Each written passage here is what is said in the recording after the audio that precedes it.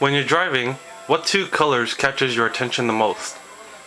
Of course, it's red and yellow.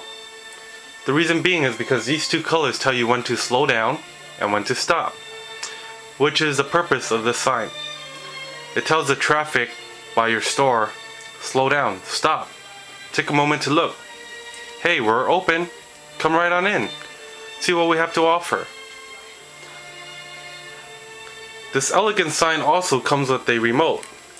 So that way, when it's time to close shop, push of a button, it's off. Save yourself some electricity. When it's time to open shop, press of a button, it's on. This will always be the sign that you will see when you first have it on. Okay? What I prefer though is this attention getter.